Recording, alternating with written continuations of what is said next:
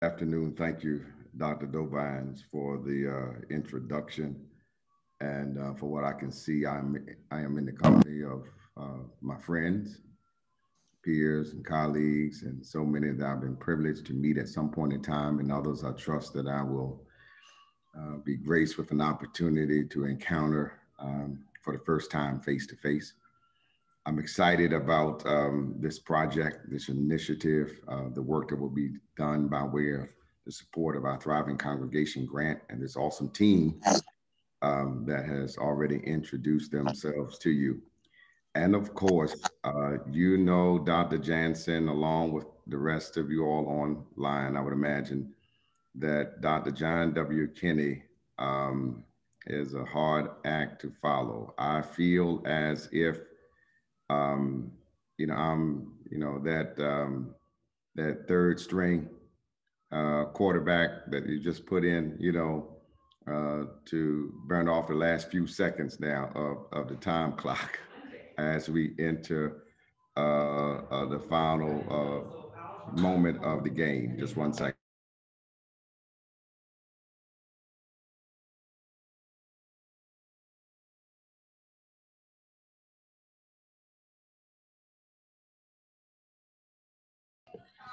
So, well, with that being said, I had to put you on pause there for a moment because I'm learning, um, as we all are from time to time, to make all those necessary and subtle shifts um, based upon the experiences of life, the happenings of life, daily existence that will cause us to negotiate new ways um, to present ourselves and do the work that God has called us um, to do. Um, so when we talk about learning, as um, we will do so for the next few moments, and and how we gain and glean through the experiences that we call challenges, um, I'm serving as a witness and a, an exhibit right now, uh, as I am in a public uh, space. Um, my attention is directed toward you, but my I'm in a public space because um, I'm trying to attend to a family affair to show the love of my beloved sister, uh, who has extended so much love unto me and the rest of the family as we celebrate her 55th year of existence. So um, she wanted to um, she wanted to do it fairly five star, I guess, in the form of a luncheon at a nice little resort area, socially distanced, but um, some folk every now and again walk through. But that's a lesson because we um, uh, we are made to adjust, modify, uh, two step throughout ministry. Um, but the hope is that the mission and the aim is the same, and we're committed to its fulfillment. Uh, Dr. Jansen, I believe you're sharing just an image uh, that will help us when we consider how we have, our trust, been made aware of the the hope that we have by way of Dr. Dobines and Rodriguez of of um, and Lucas of this um, uh, intention of, of, of serving um, cohort serving ministry, serving churches in various uh, uh, contexts that uh, face a myriad of um, uh, social, cultural, and political, and uh, and you name it, maladies that will demand of us a response and the response that we are to render as communities of faith and those of us in particular who serve in any form of leadership, lay leadership, ecclesial leadership, uh, is to do so, uh, yes, with a sense of urgency. I am reminded of uh, the late um, uh, Dr. Miles Jones, who taught us homiletics at, at the Proctor School of Theology who would oftentimes say that um, that Christianity is unique from all other world religions because we are only one generation away from being extinct. Remember that, Dobines, because uh, for, for the Christian faith is not just about doctrine, it is about doing the faith. And just as the gospel reminds us as well of the, with the immediately and the steadfastly or suddenly uh, type of refrain that we hear and uh, Mark's account in particular. Uh, we're reminded again that the time is now to respond to these challenges that we face. And the hope is that we are learning from it. And we are also imparting knowledge unto those whom we have been entrusted to share with or lead. And as a result, the next challenge will be better equipped or to deal with it, address it, tackle it, again, maneuver, negotiate our way through it without um, as much apprehension or anxiety.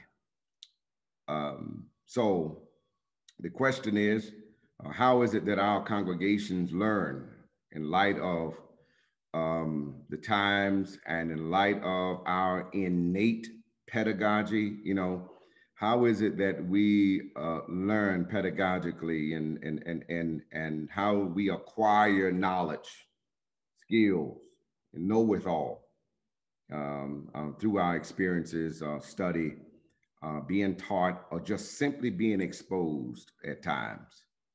So much I can say that I learned just by observing.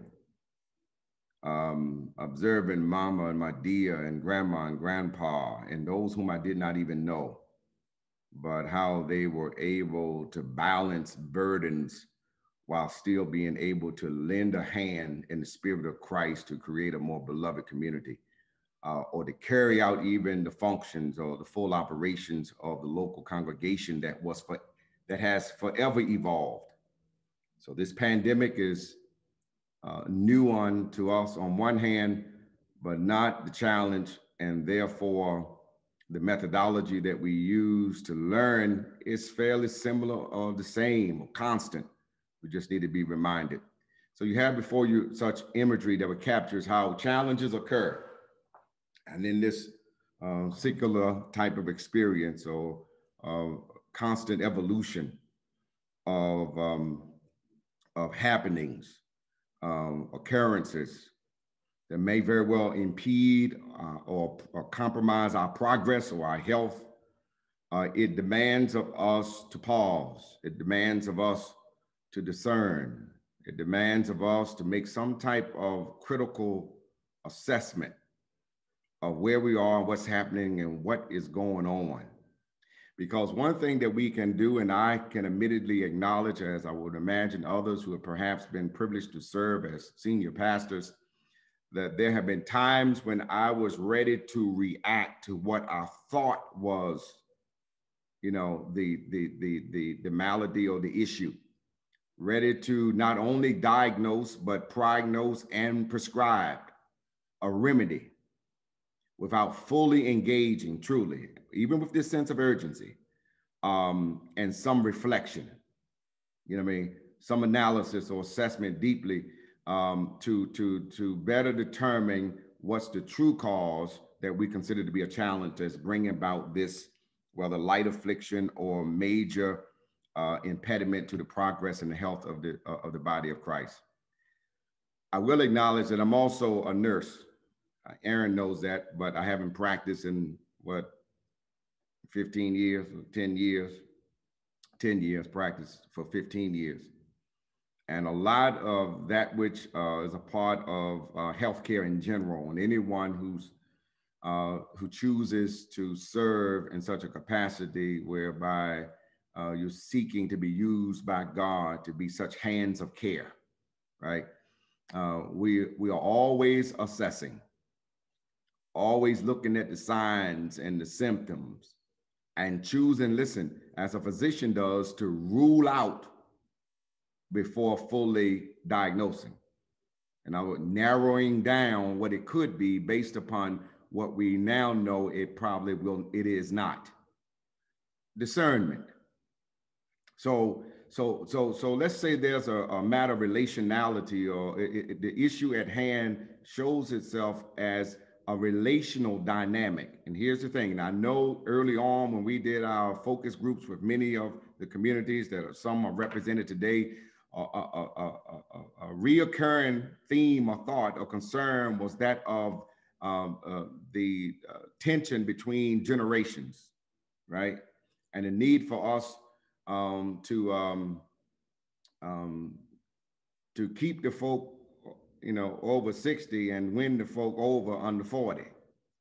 Um, but oftentimes when there's such um, um, uh, schisms or chasms in the church that are genera- generationally identified as the cause. We have to consider how deeply relational it is on one hand, but discernment might yield also that it might speak more so to one feeling as if he or she of that particular population is not valued in the sense of the gifts that they are offering that might be unique or different from the gifts of the other generation.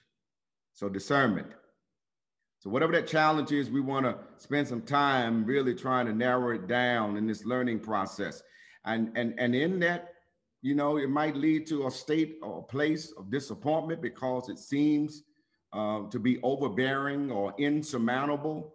It might very well be a challenge that internally one might feel as if he or she is not fit to uh, handle or address. And that's why we have partners, and that's why we have this cohort and this awesome team that's going to help us all.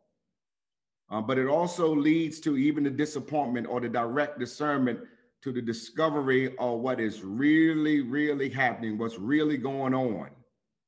You know, that that um, uh, that it, it, you know to use the enterprise of the human body and anatomy that it, it could be as deeply um, um, uh, driven to that of being neurological or cardiovascular, but it's showing itself uh, in that of a musculoskeletal type of way. You know what I mean? Um, so, so uh, I, have you know not to sound insensitive, um, um, but um, all of us, for instance, um, may have very well experienced at least a headache. You know what I mean?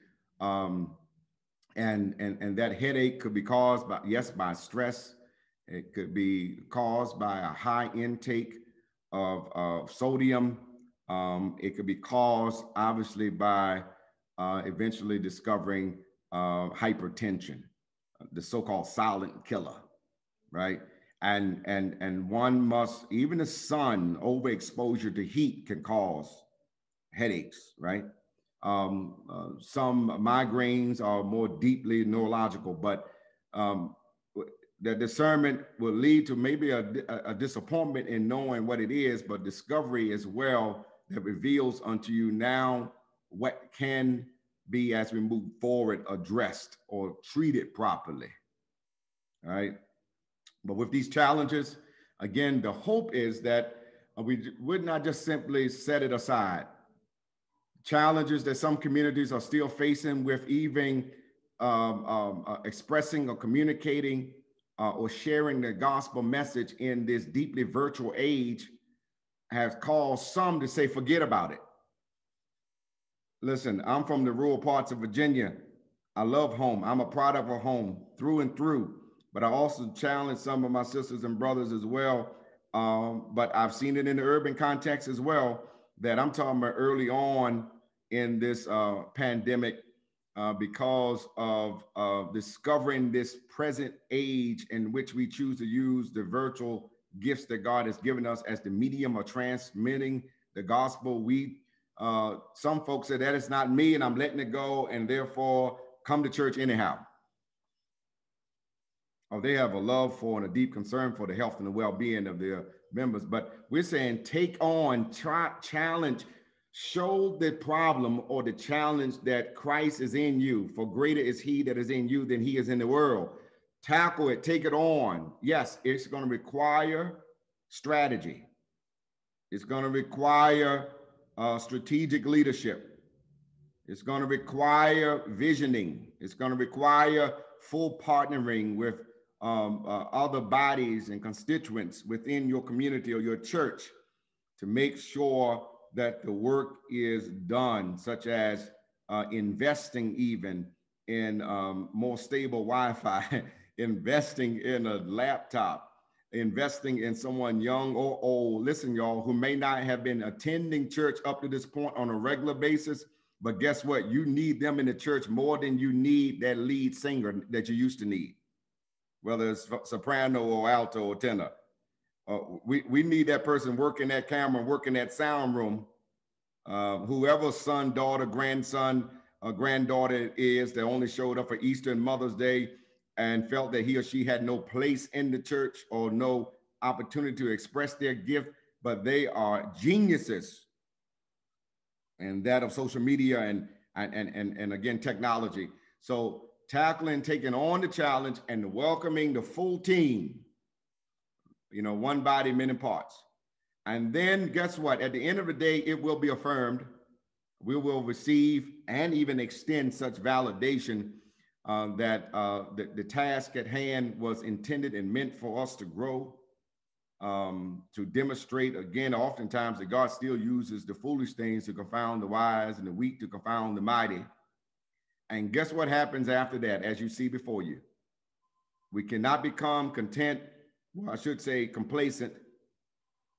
We cannot pitch our tent after making our way through one valley of over one mountain, right? And therefore being totally caught off guard, not being in a state of perpetual uh, uh, uh, paranoia, but just knowing that challenges do come as this living body of Christ continues to move forward uh, throughout this century and, and, and, and being made to take on again um, different um, experiences and challenges that uh, could very well compromise our health. But is ever evolving and moving, but toward, um, uh, at the end of the day, resolve and, and fulfillment.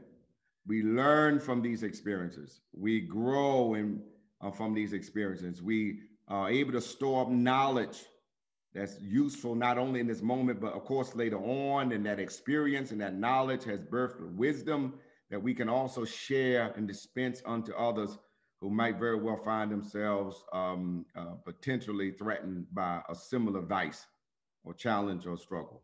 I'll conclude with this, um, and then that um, that um, you know some of the challenges that we uh, find ourselves facing uh, in in the body of Christ. Again, um, in this present age, might have a certain face that's unfamiliar, but a challenge or restriction is that which it is. Nothing new under the sun from that perspective, because we also have. I've discovered that uh, that which we are trying to be, for instance, as fiscally responsible, right? Faithful stewards while still carrying out the work and ensuring that the work is being done. Not in my present context, but in a previous context, I, I, I found myself still having to weigh and decide, okay, um, that which we associate with the corporate world and we don't like, but that is also what affects the church, and that is sometimes fiscal or financial cuts. You know, and being made mindful of what's of the most significance and we're talking about the ministries of of, of, of liturgy and, and and create space for koinonia still and and and and serving and the didactic and the didactic. But there's some things that we find ourselves facing, and and it may very well impact the life and the well-being of a beloved sister or brother who labors alongside of you as we've been challenged. Um, but in the same manner, um, such fiscal restrictions now uh, that a lot of churches face uh, due to um, COVID and uh, not having live or active or face-to-face attendance. We're seeing um, a growing need to re recalibrate break budgets. Take on and tackle that challenge. Don't deny it. Don't run from it. Um, and um, and and whatever strategy is used to bring about balance and greater health uh, which may very well demand of us, right, to look into other streams of income for the body of Christ. Might demand of us to establish an LLC. It might require of us to take, listen, that hospitality and helping hands ministry that's only used to stuff our bellies at funerals and annual homecoming and annual anniversary services, but we know that those sisters and brothers that work in that ministry do a marvelous job. It might very well mean we have to take that ministry on the road in the form of a food truck or open it up in the spirit of a cafe that's still serving and feeding and creating, creating moments of koinonia or fellowship, but also, as we see many churches, being able to gain um, some additional resources, right? Um, and um, I, I share with you right now you know, we're in the process of establishing a car wash. That's my aim. That's my hope. Um, the first stage is not going to be what the hope is, and that is to have uh, a facility in which we can hire ex-offenders, at least for a short period of time, give them some opportunities to establish um, a, a, resume, right?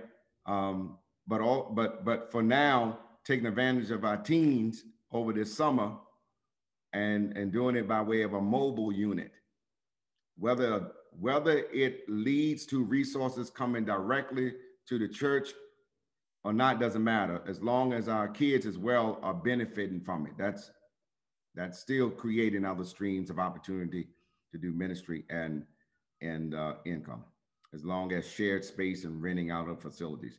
Take on these challenges and um, and then after you do it share how you made it through and buckle yourself down to see whatever uh, wind shall blow next.